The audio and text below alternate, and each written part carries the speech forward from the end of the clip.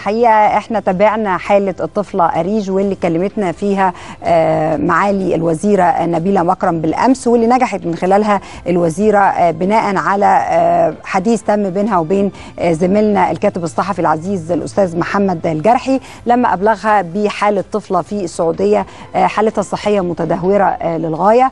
فكان قرار الوزيرة سريعا بنقل هذه الطفلة الطفلة أريج إلى القاهرة بطائرة خاصة وإدخالها إلى مستشفى الحسين الجامعي لتوفير الرعاية الصحية اللازمة لها. النهارده نجحنا إن إحنا نوصل لوالد أريج ولندخل مستشفى الحسين الجامعي في لقاء خاص لينا مع والدها ومع الأطباء اللي بيعالجوها ومع مدير مستشفى الحسين. والمناسبة يعني مهم إن إحنا نوجه التحية للأطباء المتميزين ولمستشفى الحسين الجامعي وهي مستشفى تابعة لجامعة الأزهر الشريف. هذه المستشفى تقدم الكثير من الخدمات بشكل كبير جدا. هتشوفوا والد اريج وهو بيتكلم عن تطورات حالة بنته وليه وصلت لهذه الحالة. دعواتنا جميعا لأريج بالشفاء العاجل بإذن الله. سعيدة أن أريج وصلت لوطنها عشان تاخد حقها كمواطنة مصرية في العلاج. هنتابع التفاصيل مع زميلتي العزيزة داليا علي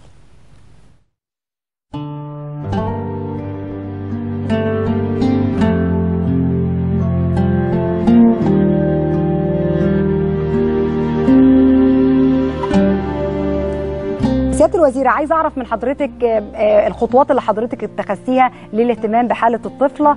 أريز دي عندها 16 سنة وهم في السعودية أهلها العيلة بسيطة. البنت حصل لها حالة إغماء بعد لما اتعشت بالليل ودخلت تنام. وصلت أريز مصر وهي دلوقتي في مستشفى الحسين الجامعي. أنا زرتها النهاردة وزرت الأسرة. طبعا هي ما زالت في غيبوبة تامة. بكرة إن شاء الله بيعملوا لها عملية علشان عايزين يدخلوا لها طبعا يعني حاجة تاكلها لأن هي طبعا حتى مش قادرة تبلع إنما طبعا بنت الحقيقة لو شفتيها يا أستاذة رشا حاجة طبعا تقطع القلب. إنما الحمد لله قدرنا نجيبها مصر.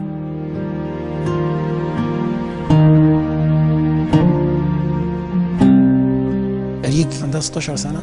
آه ما بتشتكيش من أي حاجة خالص. اللي حصل دوت حصل فجأة. جت أريج بعد يوم 7 9 طبعا نزلت بعض الأولاد عشان يدخلوا يكملوا المدرسة في في مصر.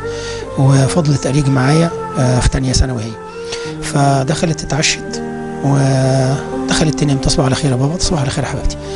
بعد كان أنا عندي انزلاق غضروفي فدخلت أخد العلاج من عندها من الغرفة. فلقيتها تقريبا شبه مفيش نفس يعني.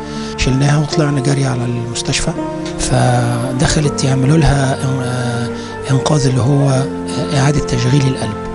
فقعدوا 40 دقيقة تقريبا يعملوا إعادة تشغيل للقلب. طبعا كل التكهنات بتاعة الدكاترة عندها حاجة في القلب يعملوا إيكو يلاقوه مظبوط. عندها حاجة سكر يعملوا تحليل يلاقوه مظبوط. عند كل التحاليل مظبوطة كل الإيكو مظبوط. طبعا لقوا إن في حاجة في المخ يعني آه نقص الأكسجين في المخ عمل تلف في بعض خلايا المخ في جلطة في المخ. بس طبعا بعد ما عملوا رنين تاني يوم لما اتكلمت مع الأستاذ محمد الجرحي والسيدة وزيرة الهجرة والجنسية ما كملناش يومين تواصلت مع السفير وتواصلت مع وزير الدفاع السعودي وإحنا تواصلنا مع المستشفى الحسين. هنا كتر خيرهم يعني وقبلوا الحالة وطلعوا جوابات.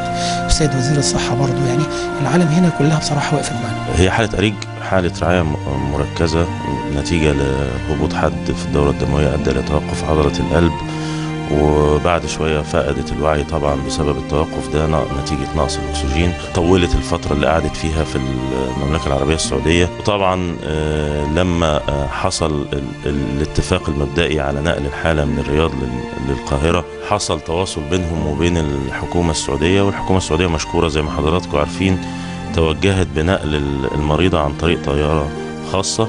لحد ما وصلت القاهرة. كنا إحنا عاملين استعدادنا اللي هو في الغالب الاستعداد اللي بيبقى لكل حالة من حالات الرعاية المركزة. إلى الآن هي المشكلة إن إحنا درجة الوعي آه لسه مش كويسة قوي.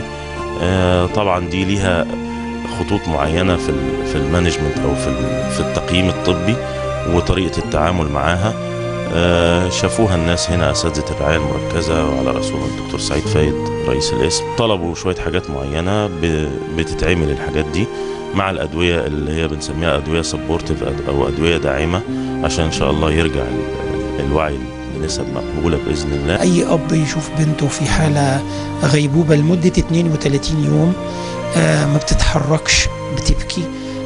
مفتحه عينها وما بتشوفش بتبص في السقف وخايفة وبتعيط. آه إيديها طبعا علاج طبيعي أنا اللي بعمله كل يوم المستشفى بتعمل مرتين في اليوم وأنا بعمل مرتين. فطبعا كان وضع صعب جدا يعني إن الواحد ينتظر لحد ما قضاء ربنا يحصل وهو لوحده في مكان غريب بعد الشر طبعا عليها. ربنا يقوم بسلامة. ولكن أملي في ربنا سبحانه وتعالى إن ربنا ما يكسفنيش.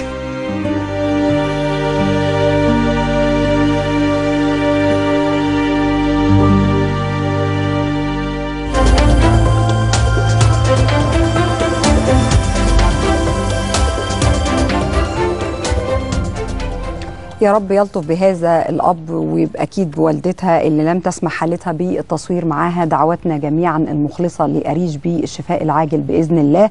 الشكر كل الشكر للزميل العزيز الأستاذ محمد الجرحي آه، الصحفي المتميز. الشكر كل الشكر للوزيرة الفاضلة السيدة آه، نبيلة مكرم التي اتخذت القرار سريعا. الشكر كل الشكر لإخواننا في آه، المملكة العربية السعودية وللسفير السعودي في القاهرة السيد القطان اللي صارع جميعا وتحركوا بسرعة جدا علشان ننقل اريج سريعا. عندي ثقة في ربنا سبحانه وتعالى بإذن الله.